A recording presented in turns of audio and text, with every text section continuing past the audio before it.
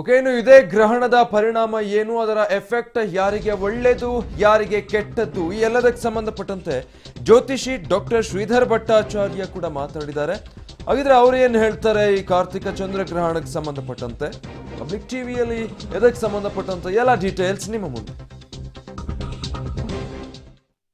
ಈ ಪ್ರಕೃತಿಯಲ್ಲಿ ಮುಖ್ಯವಾಗಿ ಕಂಡು ಬರ್ತಕ್ಕಂಥದ್ದು ಜಲ ಮತ್ತೆ ಗಾಳಿಯಿಂದ ತೊಂದರೆ.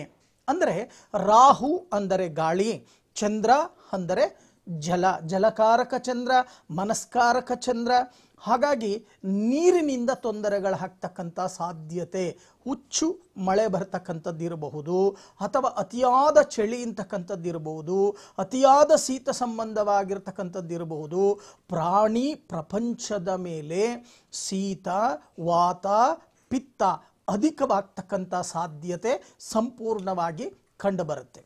ಮತ್ತೊಂದು ಭಾಗವನ್ನು ನಾವು ನೋಡಿದಾಗ, ವಿಷದ ಗಾಳಿಯನ್ನು ಸೇವಿಸಿ ಬಹಳಷ್ಟು ಪ್ರಾಣ ನಷ್ಟಗಳಾಗ್ತಕ್ಕಂಥ ಸಾಧ್ಯತೆಗಳು. ನಾವು ನೀವೆಲ್ಲರೂ ಕೂಡ ಉಸಿರಾಡ್ತಕ್ಕಂಥ ಗಾಳಿಯೇ ಕಲ್ಮಶವಾಗಿ, ಆ ಕಲ್ಮಶದಿಂದ, ಆ ಕಲ್ಮಶ ಗಾಳಿಯ ಸೇವನೆಯಿಂದ ಬಹಳಷ್ಟು ಪ್ರಾಣಹಾನಿ ಹಾನಿ ಆಗ್ತಕ್ಕಂಥ ಸಾಧ್ಯತೆಗಳು ಸಂಪೂರ್ಣವಾಗಿ ಕಂಡುಬರುತ್ತೆ. ಒಂದು ಸ್ವಲ್ಪ ಭಾಗ ನೂರಕ್ಕೆ ಮೂವತ್ತು ಭಾಗ ಭೂಕಂಪ ಅಂತಕ್ಕಂಥದ್ದು, ಭೂಕಂಪನ ಅಂತಕ್ಕಂಥದ್ದು ನಡೆಯುತ್ತೆ.